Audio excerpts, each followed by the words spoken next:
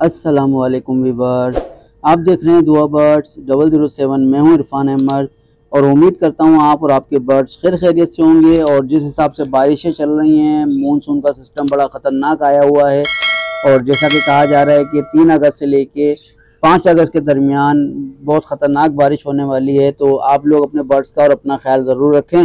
और ख़ासकर ऐसी जगहों पे अपने बर्ड बिल्कुल ना रखें जहाँ पे उनको डायरेक्ट तूफ़ानी हवाएँ, तेज़ हवाएँ लगें और अपने केजेस वगैरह बहुत ज़्यादा साफ़ रखें ताकि हवा जब चलेगी तो हवा से जो मट्टी केजेस की उड़ेगी, जो नीचे का गंदगी पड़ी होती है उड़ कर वो आपके परिंदों की आँखों में ना जाए।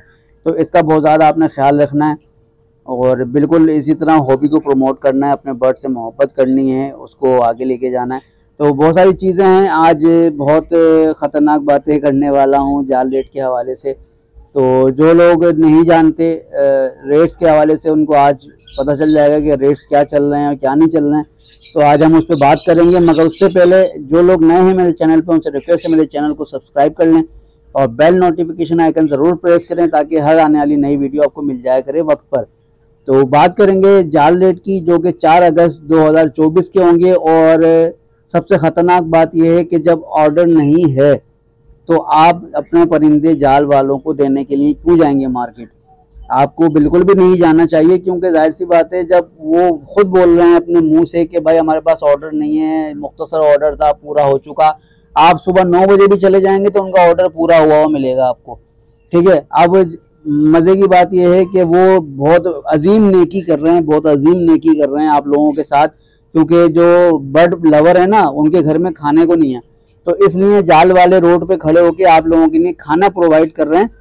इस सूरत में जो बर्ड दो हज़ार, तीन हज़ार रुपये का पेयर है, वो आपसे आठ सौ, हज़ार रुपये का लेंगे वो। जैसा कि मैंने आपको कहा, जो पेयर जैसे फिंच का पेयर है, वो साढ़े पाँच सौ तक का बिक रहा था, बड़ा पेयर ये लोग जानबूझ के ढाई सौ रुपये में ले आए। इसी तरह बजरी का जो पेयर तकरीबन सात सौ रुपये का छः सौ रुपये का बड़ा पेयर बिक रहा था कॉमन बजरी का, वो ये साढ़े तीन सौ, चार सौ पे ले आए। इसी तरह हम बात करें अगर फिशर की तो फिशर जो है वो अट्ठारह सौ रुपये का पट्ठा और तकरीबन पच्चीस सौ रुपये बाईस सौ रुपये का बड़ा बिक रहा था। ये उसको आठ सौ, हज़ार रुपये बड़ा लिया है फिशर। यानी कि अब आप सोचें कितना डिफरेंस लिया है ये लोग। ये बोल बोल के कि आपके घरों में खाने को नहीं है? हम खाने के, खाना देने के लिए रोड पे बैठे हैं। आओ, हमें अपना बर्ड दो, हमसे खाने के पैसे लेकर जाओ।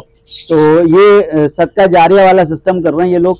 तो जैसा कि मैं आपको बता रहा हूँ, अब ये इसी तरह अगर कलर लव बर्ड की बात करें तो कलर लव बर्ड का बड़ा जोड़ा पंद्रह सौ रुपये का ले रहे हैं। इसी तरह लोटिनो रोजी गोली की बात करें, बड़ा पेयर पंद्रह सौ रुपये का और पट्टों का पेयर आठ सौ रुपये का ले रहे हैं।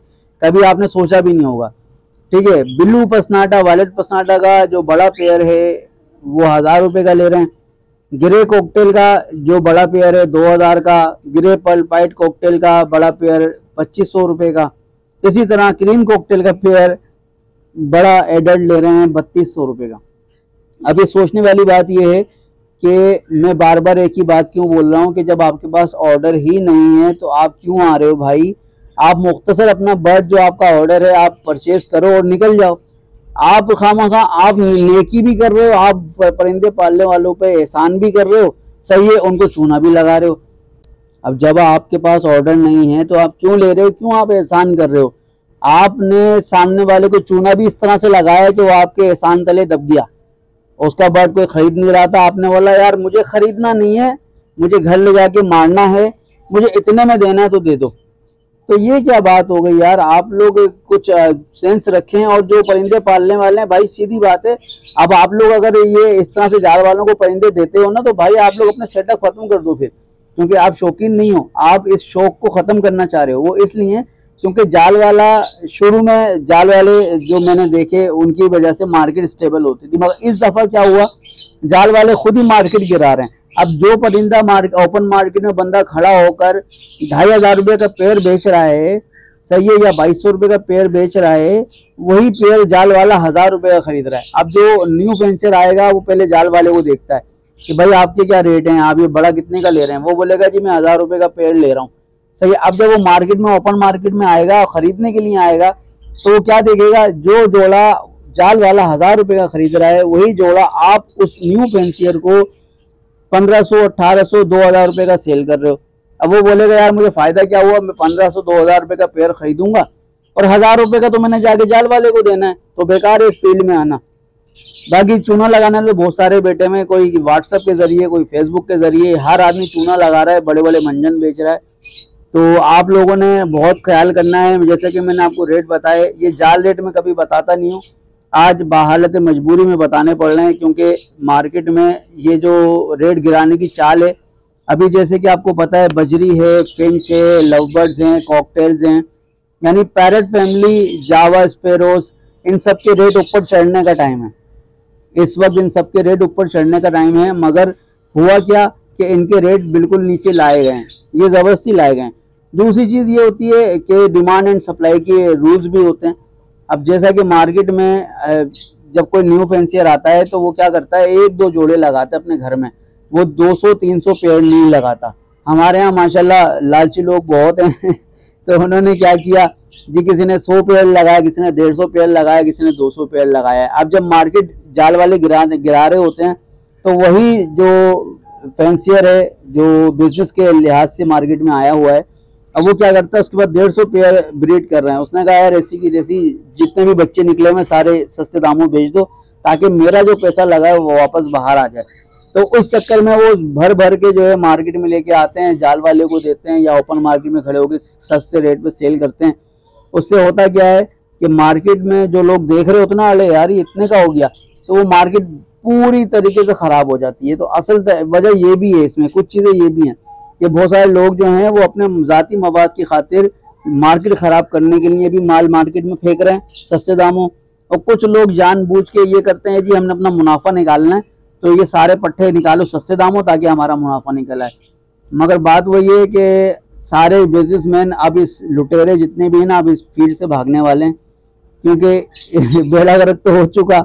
बाकी कुछ जो नैया डूबती बची बची है अभी, वो भी डूब जाएगी, बहुत जल्द जाल वालों की वजह से। जो पेयर साढ़े तीन सौ, चार सौ, पाँच सौ रुपये का होना चाहिए था, वो ढाई सौ रुपये का बड़ा ले रहे हैं। इसी तरह बहुत सारे पेयर ऐसे हैं, बहुत सारे रेट्स जो मैंने आपसे शेयर किए, कि बंदा तंग आ जाए, बोले, भाई, मुझे ख़त्म करना है ये अब ये सेटिंग वेटिंग नहीं करनी कुछ भी परिंदों की। मैंने तो पहले भी बोला था, मैं भागने वाला नहीं हूँ, इस फ़ील्ड में से और इस फ़ील्ड पर रहूँगा। और इन अभी भी मैं शौक कर रहा हूँ अपना, क्योंकि मैं शुरू से जो मैंने घर में देखा, बचपन से ही मेरे घर में परिंदे थे तो ये तब से ही मेरे घर में ये परिंदों का शौक चल रहा है।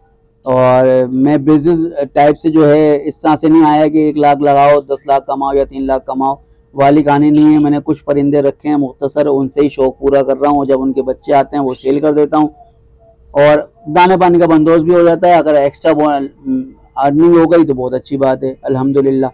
तो ये सारी चीज़ें होती हैं तो भाई आप ये सिर्फ़ शौकीन ही रहेगा और शौकीन से रिक्वेस्ट ये है कि खुदारा खुदारा किसी की बातों में आके सौ डेढ़ सौ जोड़े मत लगाइएगा अपने जेवर मत बेचिएगा कुछ और शायद चीज़ें मत बेचिएगा क्योंकि लोगों ने जेवर तक बेचे हैं परिंदे रखने के लिए। उनको जब दिखाया गया कि गाड़ी घर बंगला मकान ये आप खरीद लोगे इन, इनको बेचकर तो वो बेचारे क्या हुआ उन्होंने जो है खरीदना शुरू किया और जब खरीदना शुरू किया तो जिन लोगों ने ये एडवाइस दी थी, वो खुद अमीर हो गए। तो ये तो बहुत सारी चीज़ें हैं भाई, अपने आप ख्याल करें। और ओपन मार्केट के रेट्स जो हैं, वो तो सबको ही पता है कि क्या चल रहे हैं। मगर जाल रेट जो हैं, आप इनके धोखे में ना आए, खुदारा और अपना बर्ड लेके मार्केट में ना जाएँ। जाल वालों को देने ना जाएँ। अगर आप ओपन मार्केट में खड़े होकर बेचना चाहते हैं तो आप बिल्कुल जाएँ। सही है, मगर जाल वालों को देना तो आप ना जाएँ लेकर। क्योंकि आप जब लेके जाते हैं, वो डायरेक्ट एक ही लफ्ज बोलेगा ऑर्डर खत्म है भाई ऑर्डर नहीं है मेरे पास। इतने का ले रहा हूँ, देना है तो दे दो। आपके साथ भराई करेगा, वो आपके ऊपर एहसान अजीम कर देगा। अगर आपने लेना है, एहसान उसका तो ठीक है, जाएँ और दे दें। महँगा महँगा दाना खिलाएँ, दाने के रेट नीचे आ नहीं रहे, और आप खिलाते रहें दाना महँगा। और सस्ते दामों आप मरे कहते ना अभी क्या बोलूँ मैं, क्योंकि गुस्सा बहुत है मुझे। ये बहुत गलत बात है कि जिस तरह से ब्लैक मेल ब्लैक मेल कर रहे हैं ब्रीडर्स को, ये नहीं होना चाहिए। तो फ़िलहाल, अगर आपको वीडियो अच्छी लगी हो तो अपना प्यारा सा कमेंट ज़रूर कीजिएगा। मिलते हैं अगली वीडियो में, तब तक दें मुझे इजाज़त। अल्लाह हाफिज़।